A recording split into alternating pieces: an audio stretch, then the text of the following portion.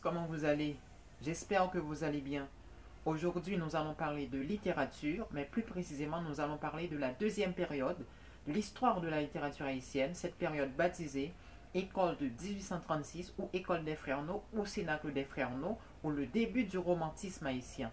Et n'oubliez pas que l'histoire de la littérature haïtienne comprend plusieurs périodes.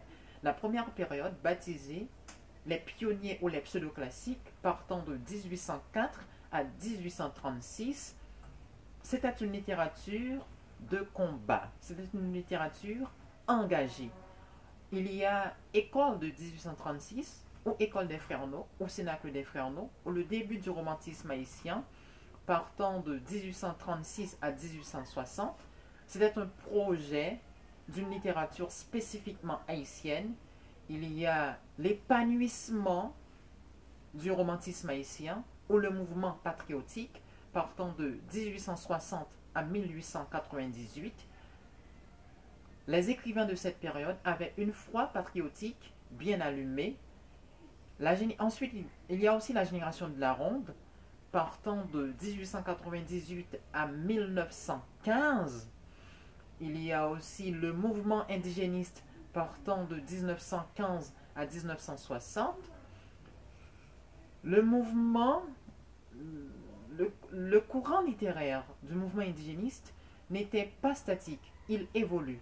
L'école indigéniste était parcourue par trois courants littéraires qui se succèdent tout en s'interpénétrant. Il y a les écrivains de la revue indigène de 1927 à 1928, les écrivains de la revue de Griot, des Griots de 1929 à 1940, il y a les afro-indigénistes révoltés de 1940 à 1960. Il y a aussi le spiralisme avec Winifred Octec et Franck Etienne et la période contemporaine. Alors, qu'est-ce qui explique le passage de la première période à la deuxième période de l'histoire de la littérature haïtienne? Il y a d'abord la reconnaissance de l'indépendance d'Haïti par la France, où Boyer paie une humiliante indemnité à la France.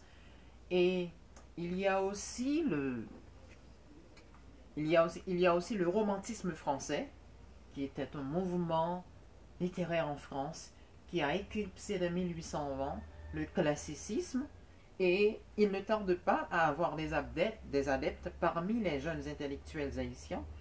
Il y avait aussi la multiplication des écoles, bibliothèques et revues en Haïti qui créent l'émulation parmi les jeunes plus cultivés que leurs aînés.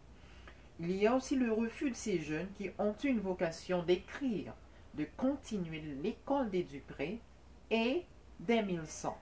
Il y a aussi l'ambition de ces mêmes jeunes de créer une littérature spécifiquement haïtienne.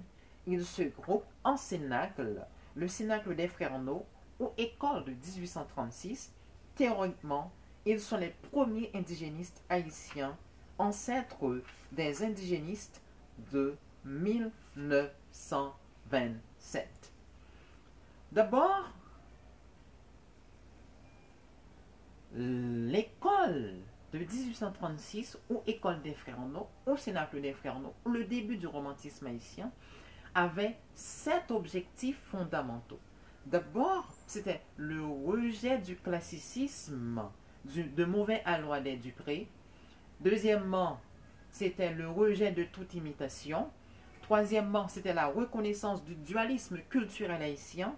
Quatrièmement, c'était la nécessité d'écrire une littérature nationale et originale. Cinquièmement, il y avait des vœux et des espérances pour l'Afrique. Sixièmement, pour ceux qui reprochent aux nègres d'être une race barbare sans passer sans civilisation, les écrivains de cette période mettent en valeur mais l'Afrique comme centre d'une grande civilisation. Et septièmement, il y avait une plaidoirie pour l'égalité des races. Émile No, qui, est le théoricien de l'école, dans de nombreux articles publiés surtout dans Le Républicain et l'Union, il résume les objectifs de l'école. D'abord, le rejet du classicisme de mauvais alors de Dupré. No dénonce les poésies dans lesquelles la mythologie supplée à l'absence d'inspiration et d'imagination. Il disait De la mythologie au XIXe siècle, de la mythologie en Haïti, est-ce que nous aurions quelque, quelque inclination au paganisme? Il pouvait y avoir encore une raison pour Racine de faire de la mythologie. Il n'y aura jamais pour vous, poètes haïtiens. Deuxièmement, le rejet de toute imitation. Nos disait L'imitation de la manière et du faire des poètes européens est plus ingrate et plus stérile ici qu'ailleurs. Nos poètes ne doivent avoir nulle partie à prendre pour ou contre telle école, ils doivent les étudier toutes et n'en être d'aucune. Troisièmement, la reconnaissance du dualisme culturel haïtien nous disait en ce sens, nous ne pouvons pas nier ce que nous sommes, pas sous l'influence de la civilisation européenne. Autrement, il faudrait affirmer que nous ne devons qu'à nous-mêmes nos éléments de sociabilité. Mais il y a dans cette fusion du génie européen et du génie africain qui constitue le caractère du peuple haïtien. Quelque chose qui nous fait moins français que l'américain n'est anglais. C'est ce que, c'est ce que quelque, c'est ce, c'est ce quelque chose qu'il s'agissait de mettre en valeur. Et c'est à quoi s'appliquèrent les jeunes rédacteurs de l'Union en s'efforçant de montrer par l'exemple comment, en s'avivant aux sources d'inspiration locale, notre littérature avec le génie africain peut atteindre à une incontestable originalité. Quatrièmement, la nécessité d'écrire une littérature nationale originale nous disait en ce sens Vous ne serez goûté et n'aurez de succès qu'à la condition qu'il se trouve dans vos poésies, vos croyances et vos sentiments personnels, qui ne peuvent se rattacher qu'aux croyances et aux sentiments de votre époque et particulièrement de votre pays. Mais comment y arriver Nos formules un véritable art poétique qui constitue un texte fondamental de la littérature haïtienne. Il disait La source d'inspiration est en vous et chez vous. Hors de là, vous n'aurez point de salut. La poésie est partout, ce n'est pas elle qui manque, ce sont les poètes. Nos écrivains doivent donc célébrer Haïti, ses fastes et ses gloires militaires, évoquer ses nuits intenses et son ciel profond, ses superstitions et ses légendes, le charme ardent de ses femmes et la ruse finaude de ses paysans. Il faut également naturaliser la langue française, créer une langue franco-haïtienne empruntant pour s'enrichir au milieu ambiant des expressions familières, sa couleur et son charme. Nos poursuit. La langue française dans nos écrits et dans nos conversations a toujours l'air d'une langue acquise.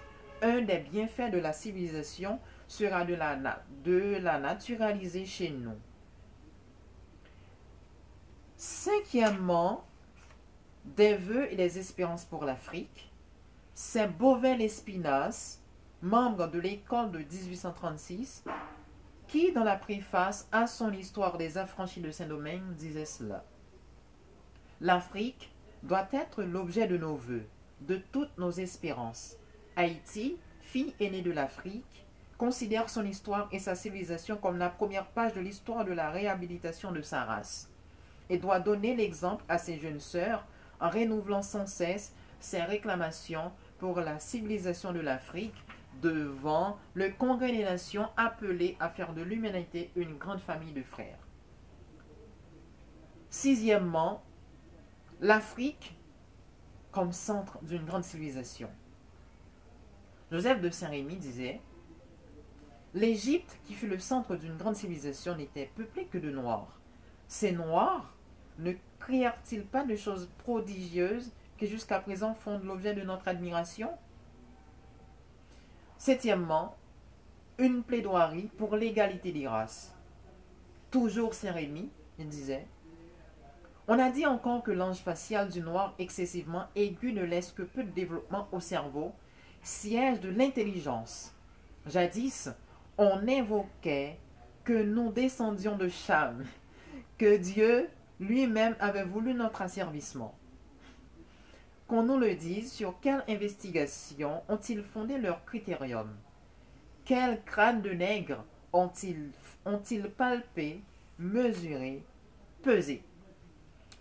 Les principaux membres de l'école sont tous des frères, des cousins, des camarades de classe. Ce sont Émile No, Ignace No, Eugène No, Coriolan Ardouin, Bourbon Ardouin, Céligny Ardouin, Dumaine Espinas, Beauvel Espinas, Massillon Lespinas, Thomas Madio, Joseph Sérémy, Ali Béfiri. Le rayonnement et l'influence de l'école de 1836. Le mouvement connut une large audience du vivant même de ses fondateurs. À l'extérieur, des périodiques comme la Revue des colonies, la Revue contemporaine, la Revue des deux mondes reproduisent avec des commentaires élogieux les poèmes de Coriolan Ardon et d'Ignace No. La presse parisienne et celle des Antilles s'intéressent en connaisseuse aux publications des, des historiens Madiou, Saint-Rémy. Ardouin et Lespinasse Beaucoup de ces auteurs se font éditer en France, ce qui aide à la diffusion de leur production. Lorsque les animateurs du mouvement sont en difficulté et sont obligés de suspendre la publication de leurs organes littéraires, les confrères d'outre-mer, revues des des colonies, revues contemporaines, reçoivent et publient pour nos auteurs poèmes, pages d'histoire, pages critiques. Le romantisme haïtien et ses diverses étapes L'école de 1836 inaugure également le début du romantisme haïtien. Malgré les déclarations de No rejetant l'imitation, le mouvement est tributaire du romantisme français, comme ce dernier l'est du romantisme anglais et allemand. Le romantisme haïtien n'est pas le décalque du mouvement français, comme on a toujours tendance à le croire. Il n'est pas donc plus statique, il évolue. Il connaît trois phases avec l'école de 1836 au début du romantisme, l'école patriotisme ou l'épanouissement du romantisme haïtien, et l'école éclectique de la ronde ou apogée du romantisme haïtien. En 1836, le romantisme est une restauration des valeurs du cœur, un élan de l'individualisme et en dépit des influences étrangères, un mouvement indigène. Avec les poètes, c'est un épanchement du cœur et des sentiments personnels. Grâce au progrès du sens historique, l'image de l'homme se renouvelle. À travers leurs œuvres, nos historiens nous présentent une image de l'homme haïtien variée, complexe et infiniment riche. Dès 1860, le romantisme avec l'école patriotique devient un culte des valeurs patriotiques et raciales. Il devient social. L'écrivain a une mission civilisatrice. Durand, Coicou, Delhomme, Janvier mettent leur art au service du progrès. Le pays est insulté, la race est méprisée, l'économie du pays est anémiée. Ils tentent de solutionner tous ces problèmes. Plus que leur valeur devancier, ils cultivent le goût du pittoresque et de la couleur locale. À partir de 1890, le romantisme haïtien atteint son apogée avec les éclectiques de la ronde. Ils recueillent et font le choix des plus belles et des plus pures valeurs léguées par le passé. Ils font des déclarations théoriques qui les compromettent. Ils nient l'existence de la littérature nationale et veulent rattacher la littérature haïtienne particulièrement à celle de la France.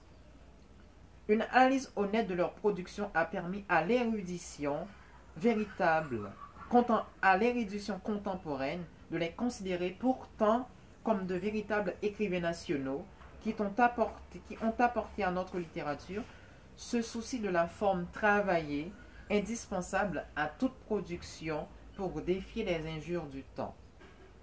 Ainsi, le romantisme haïtien, né aux environs de 1836, a évolué. Individualiste à cette date, social à partir de 1860 et universel dès 1890, ce mouvement s'est enrichi, il faut le souligner, de l'apport d'autres mouvements qui, en France, ont succédé au romantisme, tels le Parnasse et le symbolisme. En gros, voici tous les détails en ce qui concerne la deuxième période de l'histoire de la littérature haïtienne. Alors, merci beaucoup. N'oubliez pas de liker, de laisser les commentaires et n'oubliez pas surtout d'abonner à ma chaîne. Merci, merci, je vous aime tous.